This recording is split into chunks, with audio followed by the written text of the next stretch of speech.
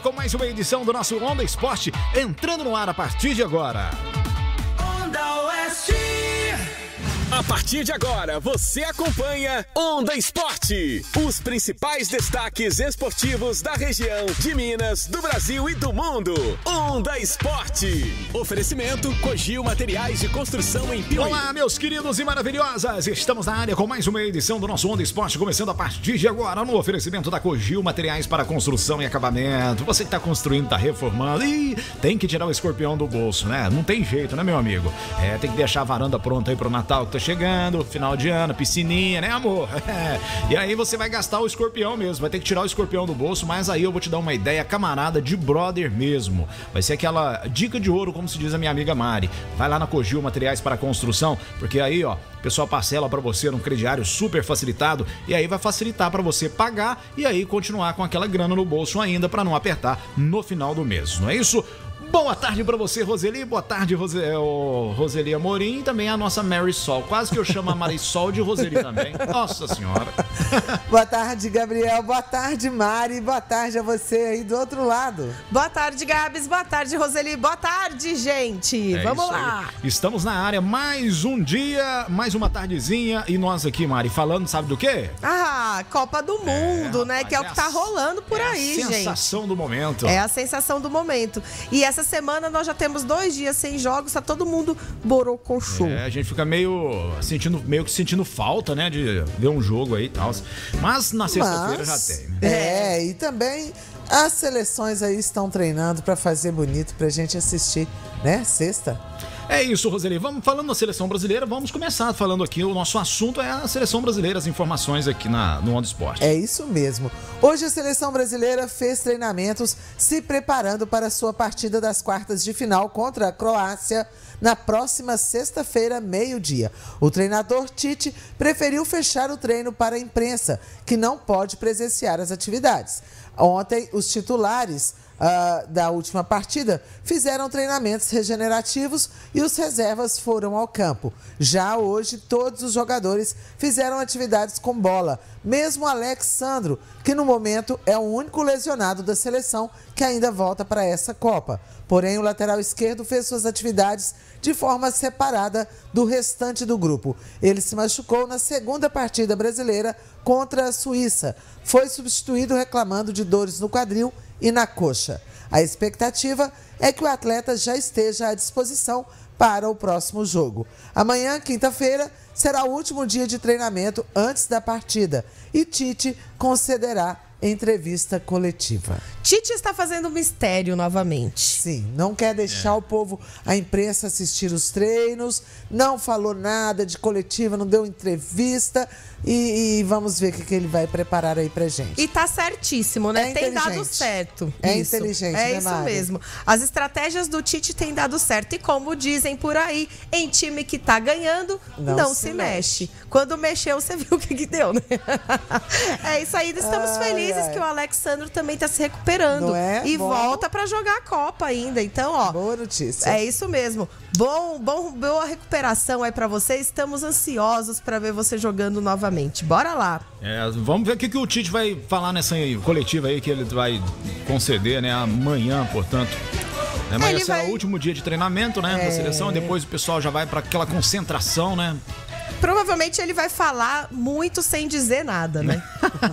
não é aquela coisa? Vai saindo pela Neymar. tangente. Porque não tem como. Obviamente que alguém vai perguntar: olha, qual que é a escalação? Qual é a tática de jogo? Ele não vai contar, né, gente? Se não deixou nem a imprensa entrar pra ver o treinamento. E bom que os, os atletas já estão ali se regenerando, deixando ele- os que jogaram descansados, né? É. E preparando também os nossos reservas, que a qualquer momento tem que estar ali, ó, supimpa pra entrar em jogo e fazer dar gol.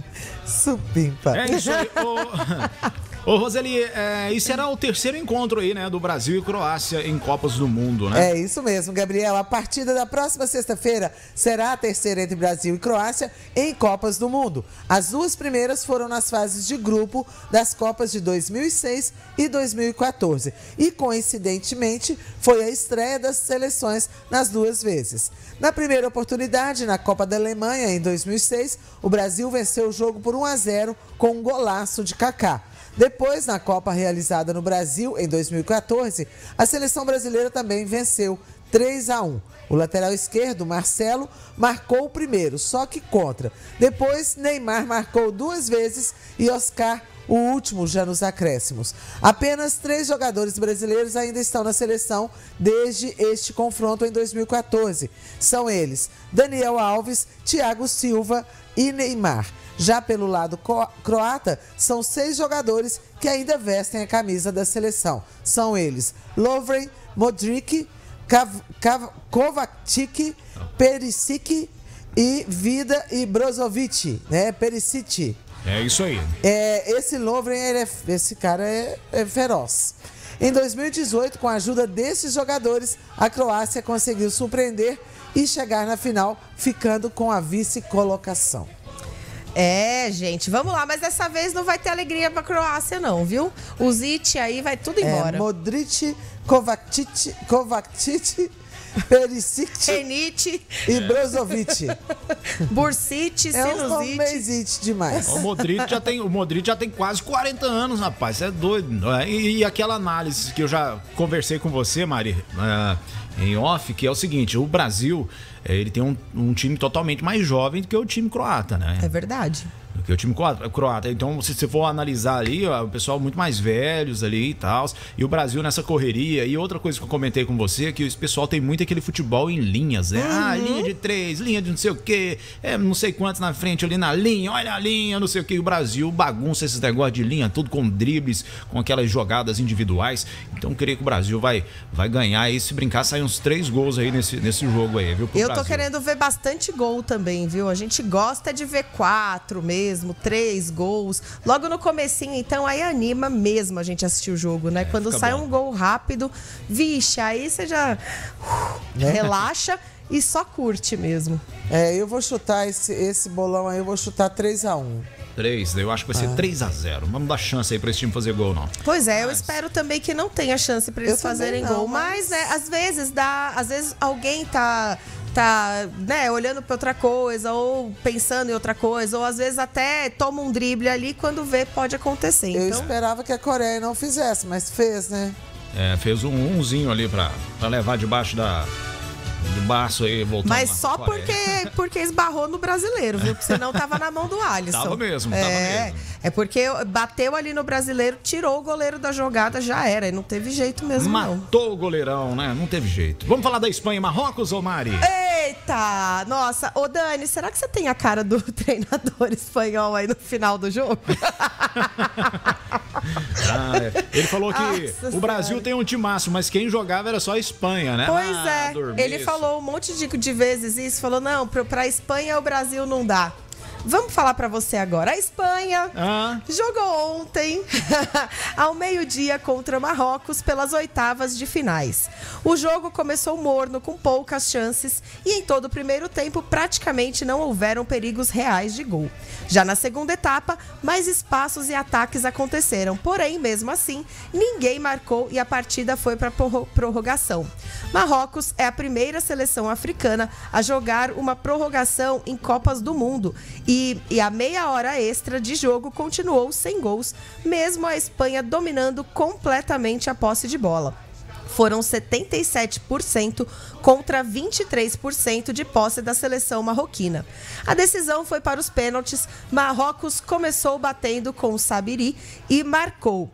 Pablo Sarabia, pela Espanha, chutou forte de esquerda e bateu na trave.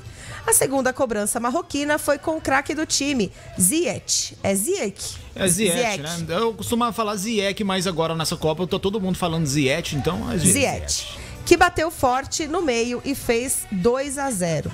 Carlos Soler foi o próximo e não bateu bem. O goleiro segurou. Depois foi a vez de Banon. Bateu no canto direito do goleiro espanhol, que agarrou também. O experiente Sérgio Busquet foi para a bola, bateu forte no canto, porém o goleiro foi muito bem e pegou. Marrocos foi para o último pênalti, podendo marcar e se classificar. E foi o que aconteceu. O lateral do PSG, Hakimi, bateu com frieza no meio do gol, devagar, e o goleiro foi pro canto. Nos pênaltis, Marrocos passa para as quartas de final, eliminando uma das seleções favoritas na competição. Que seleção é essa, minha gente? Espanhol. Espanha. Espanhóis. Hora de devolver para casa? É, vamos, vamos que se acertar. Então, esse jogo aí foi muito legal, né? Teve gente até confundindo aí que era Portugal e Marrocos. Gente do céu. É, mas não era não, viu? Era Visionários. Espanha mesmo. Então, nossa, Sabe aquele jornal mãe. do passado? que você fica vendo, vendo Ai, notícia do que já aconteceu, Oh, tipo meu Deus do isso. céu, mas é mais ou menos por aí. então, oh, foi assim. Foi de tremer, viu? Eu assisti o finalzinho e os pênaltis ali. Eu também. Gente, como que a Espanha não acerta um pênalti, cara? E o goleiro deles foi muito, Muito bem, bem, muito, muito bem. bem. Ó, em pênaltis eles não tomaram nenhum gol. Não. É demais isso, não é? Uma loucura. É. Em disputa de pênalti de Copa do É, Mundo. O primeiro errou porque mandou na trave. E os outros dois foram, foram aí defendidos pelo goleiro. Poxa, a Espanha deixou bem a desejar. Pois Deixou é, bastante. E ah, sabe o que, que eu fiquei sabendo? Ah. Que esse cara aí do PSG, o que marcou o último, o último pênalti, ele é Hakimi. espanhol. Ele nasceu na Espanha. Ah, mas. E aí resolveu jogar pelo Marrocos, porque eu acho que os pais dele, ou a mãe, ou o pai, ou os dois são, são Marroquinos. marroquinos. E ele resolveu jogar. E adivinha quem foi o algoz da Ele pegou, Espanha? ele pegou uma aulinha com o nosso menino Neymar, foi lá e cobrou muito bem. Bateu muito bem o pênalti, foi devagarzinho. Cavadinha ainda. cavadinha. Nossa, É, pelo amor foi de Deus. Coisa Neymar. linda. Coisa linda de se ver, viu?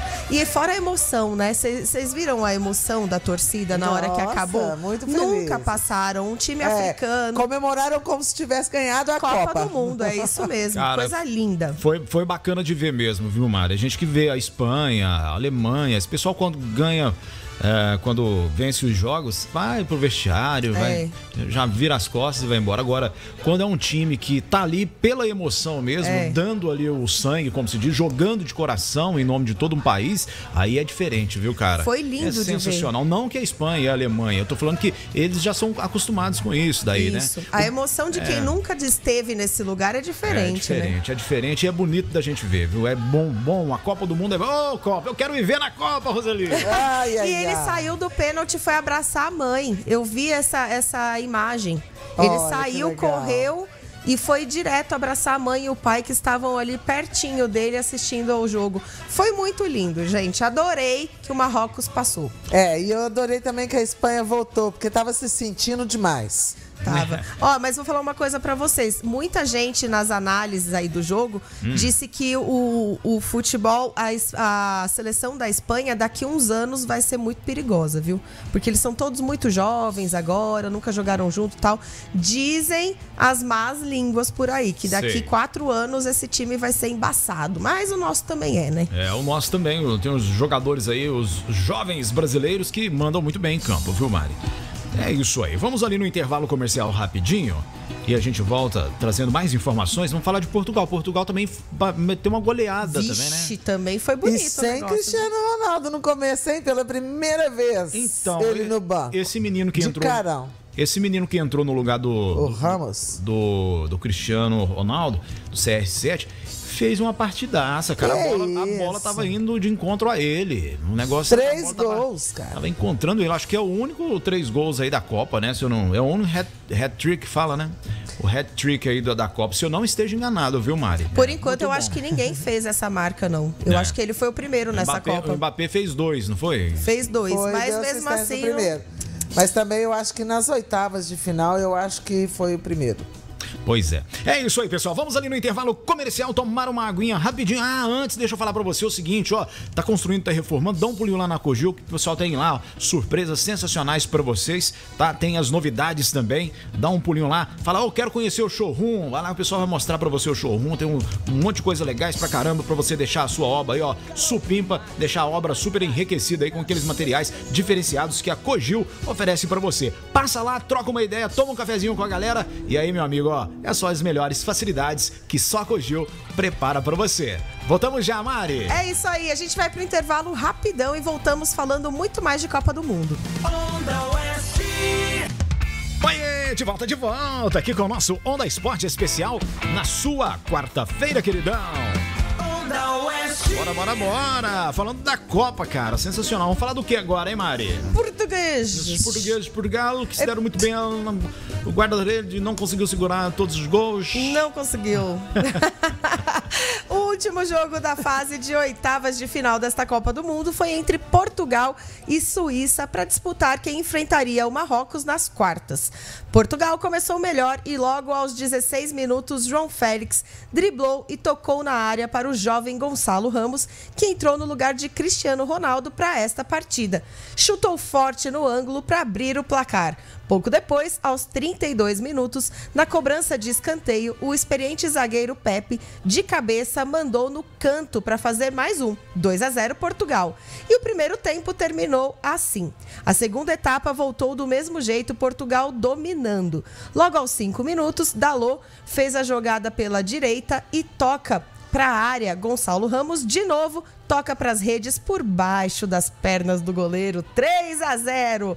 Pouco depois, aos 10 minutos, contra-ataque rápido de Portugal, troca de passes e Rafael Guerreiro chuta forte para virar goleada. 4 a 0. Em seguida, aos 12 minutos, escanteio para a seleção da Suíça. A bola passa por todo mundo e, na segunda trave, a Kanji manda para as redes 4 a 1. Aos 21 minutos, no lançamento do goleiro, a bola sobra com João Félix, que toca para Gonçalo Ramos na cara do gol fazer seu terceiro e o quinto de Portugal. O primeiro jogador a fazer três gols no mesmo jogo dessa Copa do Mundo. Portugal, 5 a 1. E você acha que acabou? Não, ainda teve tempo para mais. Nos acréscimos, aos 46 minutos, Rafael Leão, que tinha acabado de entrar em campo, recebeu na frente, entrou na área, cortou o marcador e chutou bonito, sem chances para o goleiro. 6 a 1.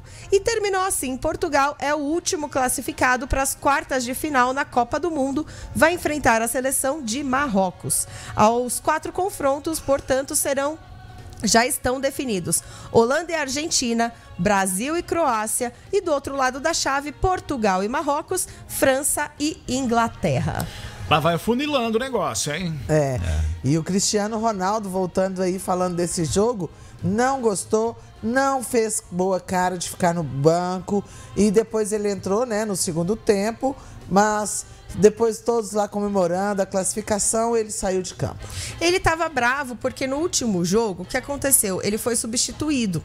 E ele saiu resmungando. E nisso, a gente sabe, essas câmeras HD hoje em dia, foi na boca dele e pegou ele resmungando meio que com um técnico, assim, mas sozinho, sabe? Falando você tava com pressa de me tirar, alguma coisa assim. E aí eu acho que isso deve ter rolado um babado ali no, no- né, no, no- no vestiário. E dessa vez eu acho que o técnico falou assim: bom, reclamou, então vai ficar no banco. É, quem manda aqui sou eu, pronto. É, porque todo mundo tava falando isso, que a câmera, quando aproximou, ele tava reclamando. E aí, por causa da leitura labial, É, e os brasileiros estão conversando só com a mão na boca, ó. Nada, não vão ver o que, que eu tô falando. Os brasileiros são veiacos. ou cuspindo, né? Espera a câmera chegar, ele pega e dá uma cuspida no chão. Ai, que nojeira, que é isso, gente. Pois é, Mari, você acha que tem times que começam aí a, a Copa no- lá no início?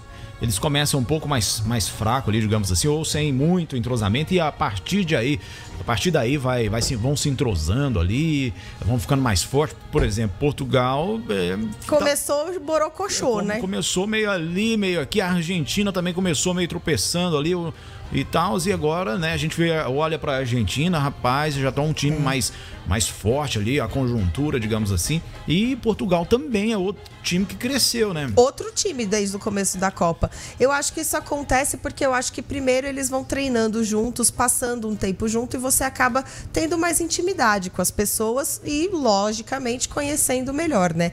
E eu acho também que eles começam a acreditar neles mais, entendeu? Porque na primeira fase de Copa do Mundo tá todo mundo com medo, todo mundo entra ali com as pernas tremendo, mas aí você fala, poxa, ganhei hoje. Nossa, Outro jogo, nossa, ganhamos hoje de novo. Aí isso daí vai criando uma confiança e quando o jogador ou o atleta tá confiante, é difícil você quebrar essa confiança, porque ele já tem uma preparação psicológica muito boa. Quando começa a ver que tá indo pra frente, aí eu acho que é isso mais ou menos que acontece. Pois é, aí o time, quem chega na final realmente tem que ser as melhores, né? As melhores seleções, não tem como, né? Não tem aquele negócio de, ah, foi sorte, ainda Não, mais agora não. com esse negócio desse VAR aí, que toda hora anula gol, É. é, marca impedimento, tem aquele negócio, tem outra coisa que eu... Muito fico- pênalti eu também. Fico, eu fico puto quando tem aquele impedimento e aí ah, o, o bandeirinha espera a- a- a- o jogo continuar ali, ou então. Acabar, né? A bola sair ou Espera, às alguma vezes coisa. peguem alguém ali e tal, aí demora uns, alguns segundos ali, uns minutos pra, pra, pra, pra, pra pitar, né? E aí cancela toda a jogada, cara. E a gente já comemorou, né? Poxa, já teve, ah, já teve lance de acontecer o gol, né? Deu, é, continuou o lance.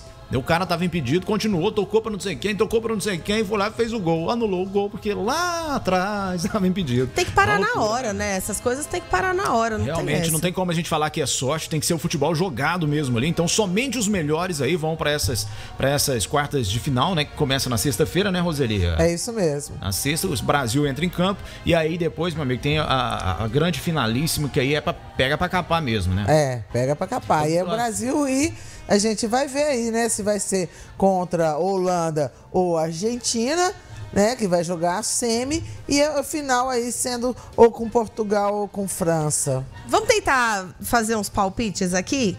Holanda e Argentina, quanto vocês acham que fica? E quem Holanda e ganha? Argentina. A Argentina ganha, velho. Eu acho que a Argentina ganha. Eu acho De que vai, muito ou de pouco, Eu acho que vai acha? pros pênaltis, mas a Argentina ganha, viu? O bem que era bom ver um pênalti da Argentina, hein? É, olha, a gente tá vendo ali, ó, Holanda e Argentina, né, dia 9, então no sábado, às 4 horas da tarde, e ao meio-dia, Brasil e Croácia, dia 6, dia 9, sexta-feira. Sexta-feira. Né? Isso, então a gente tá torcendo. Então a gente acha que é ali, ó, Argentina. Quanto você acha que vai ser, Roseli? Eu acho que vai ser, eu não sei, eu acho que vai ser 2 a 1 Eu também ia chutar 2x1, mas aí se for pênalti, aí é outros 500, né? Não, acho que não vai pros pênaltis, não. Acho que vai ser 2 a 1 pra Argentina. Bem, bem difícil mesmo. E Brasil e Croácia, eu acho que vai ser 3 a 1 Brasil. E Portugal e Marrocos? Eu Portugal e Portugal Marrocos, que vai jogar no, no sábado, né? Meio-dia. Eu acredito que Portugal ganhe também, mas também não vai ser muito fácil, não. Eu acho que vai ser Porque magrinho Marrocos se tá- for, viu? É, deve ser uns 2 a 0 Marcação fortíssima de Marrocos, né, cara? É. Ah, gente, agora que E eles França chegaram nessa fase, eles não vão abrir mão de jeito nenhum. Vão- Vão largar o osso, não. E França e Inglaterra. Poxa, esse daí eu não sei o que, que vai dar, não. a viu? França Eu ganha, acho que é né, velho? A França. França passa. Eu acho que lá é, no França final. vai ser uns 3 a Você 0 acha que o, o, o Mbappé vai 3 ganhar a 1. do Hurricane? 3 a 1 Ah, vai. vai, 3 a tranquilo. 1? É isso aí. Jogão também esse aí da França e Inglaterra, né, cara? Vai Bom, ser um E jogaço. nós estamos correndo da França igual o, o diabo corre da cruz aí, mas no final acho que a gente vai enco- acabar encontrando Tem eles aí. importância não, nós temos muito mais jogadores bons. É tipo aquela bifurcação que acaba na mesma avenida, né? Você fala, poxa vida, passei por um lado. Já tô chegando aqui de novo. Encontrei aqui não de tem novo. jeito não, vai ser. Ah, deixa eu falar pra vocês aqui, sabe o Hazard? Pois é, fiquei sabendo que tem alguma coisa aí no time da Bélgica Pois é, tá anunciando a aposentadoria. A Bélgica ficou em terceiro lugar no seu grupo desta Copa do Mundo. Venceu o Canadá, perdeu para Marrocos e empatou com a Croácia. A seleção que surpreendeu em 2018 ao vencer o Brasil e, e chegar nas semifinais teve uma notícia triste depois da eliminação precoce deste ano.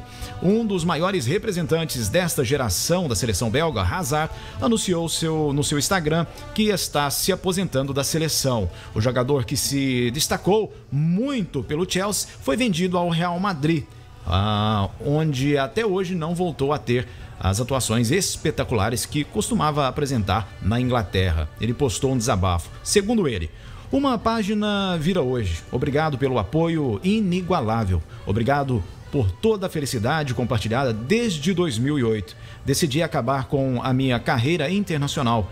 A sucessão está pronta. Vou sentir saudades de vocês, então. Palavras aí do nosso Hazard. O jogador tem 31 anos, fez 125 jogos aí pela seleção belga, marcando 33 gols. Ele é o segundo jogador que mais balançou as redes na história com a camisa ah, representando aí o seu país. Tá novinho pra se aposentar, né? 31 É, anos. 31 tá novo mesmo. Tá Mas eu acho que ele novo. tá se aposentando é só da, da seleção, né? Por Ou do, Por dos, enquanto, do né? Ele dos conti- clubes. Ele continua, ele continua jogando no clube ainda. Tá. Agora da seleção ele já fechou aí, liquidou a fatura. Ah, Ficou tanto triste. porque daqui quatro anos ele. Ah, 35, ainda tá na flor da idade pra jogar a É, Copa, se não você tá for não? olhar pelo, pela idade do Modric, que tá jogando em alto nível Pois ainda. é.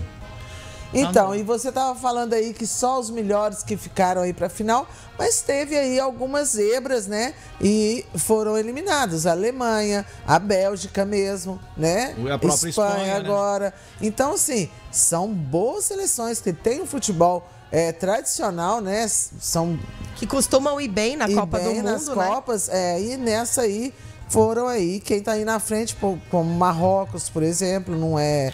Então, Marrocos foi a surpresa, né? Eu não sei se até que foi, se foi o próprio Daniel que comentou aí com a gente, falando que, a, que Marrocos ia se surpreender na Copa. Ele me falou isso antes do jogo. Antes do jogo de ontem contra a Espanha. Ele falou: olha, eu falei, nossa, a Espanha vai atropelar o Marrocos e tal. Ele falou assim: olha, talvez não, porque o Marrocos vai surpreender ainda. E surpreendeu, né? E surpreendeu.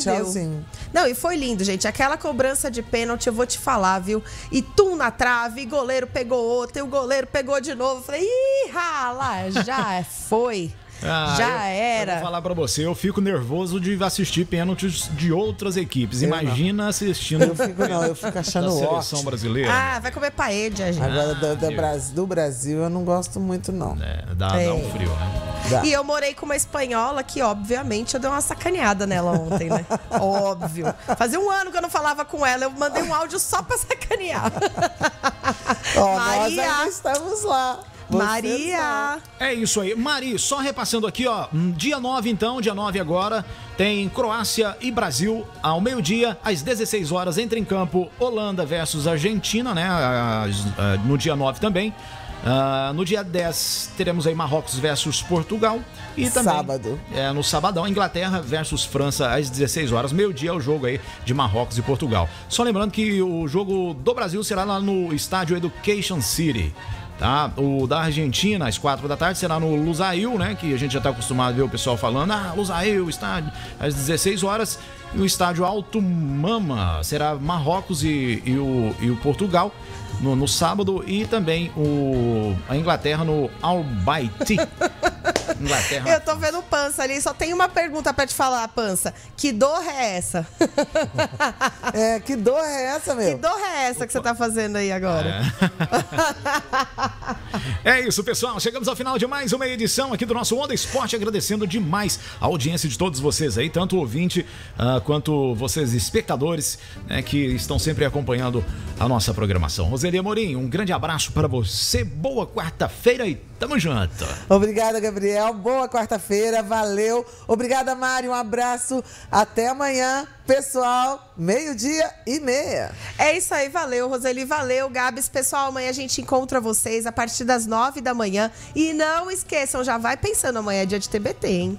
É isso, a gente volta no oferecimento da Cogil Materiais para Construção e Acabamento, dando um show, meu querido, um show de acabamento. Então dá um pulinho lá para você tá tocando, trocando uma ideia. Final de ano aí, tem umas facilidades que eu tô por dentro, tô sabendo, viu? Dá uma passada lá. Mari, então é isso, menina. Amanhã às nove da manhã estaremos aqui, ó, de volta no nosso showzão da onda. Na sequência tem o André Pança, ele vai sortear o telefone aí lá pro pessoal. Credo. Eu acho que ele vai, não sei não, viu, É um gente? porco? Como é que é o nome do telefone? É um porco? Não, A é um cara porco, dele. Né? Porco que é o nome do telefone. né? É porco não, é porco a porco. Tá certo, um grande abraço, obrigado pelo carinho. Valeu, pessoal. Vem aí o André Pança e o Tamo Junto aqui na Onda Oeste com muitas novidades e música boa pra vocês, viu? Forte abraço, boa quarta-feira e tamo junto. Tchau, tchau.